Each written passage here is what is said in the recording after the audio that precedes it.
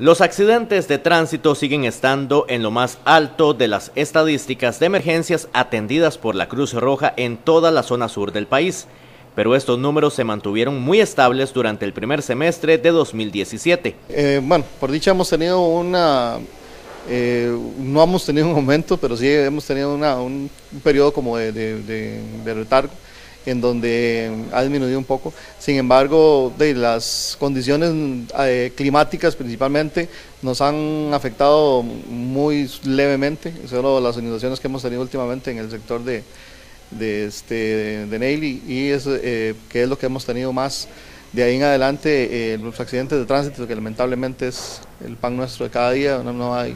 En un recuento de situaciones que se presentaron en toda la zona sur y que están dentro de las emergencias con normalidad atiende la benemérita institución, están las búsquedas en montañas.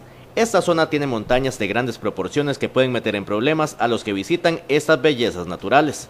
Eh, luego este, tenemos, hemos tenido varias búsquedas, principalmente en los sectores de Corcovado, que son prácticamente normal, este, y eh, situaciones que se dan eh, del diario vivir. Normalmente esperamos que siempre le damos la recomendación a la gente que por favor traten de manejar un poco más despacio.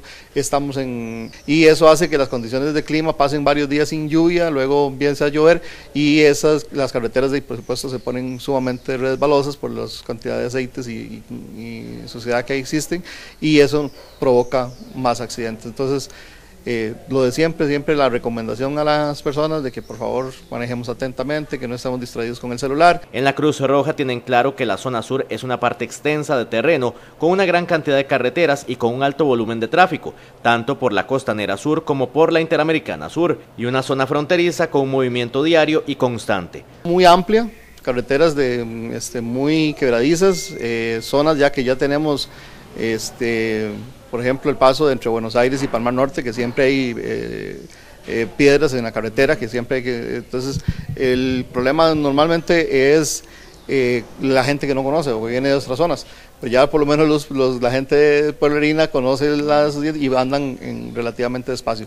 Pero hemos tenido accidentes fatales en esas zonas este, y desgraciadamente no es algo que no podemos, no podemos evitar, pero sí podemos tratar de disminuir el, factor riesgo. Uno de los aspectos que también resaltan es el comportamiento en accidentes acuáticos. La zona se mantuvo en los primeros seis meses del año bastante normal, lo que deja la sensación de que los vacacionistas se toman con más seriedad los viajes a estas zonas y toman las previsiones necesarias. Mm, prácticamente casi ninguna... Eh, este, muy baja incidencia en lo que es la parte de playas, eh, ya en otras zonas del país sí fueron nivel, pero por lo menos en el nuevo nuestro tuvimos la ventaja de que fue eh, muy poco lo que, lo que, se, lo que se vio este, y estuvimos cubriendo la mayoría de playas del, de la zona. La precaución en todos los sentidos sigue siendo el mejor consejo de la Cruz Roja costarricense y de todos sus comités a lo largo de la región Brunca.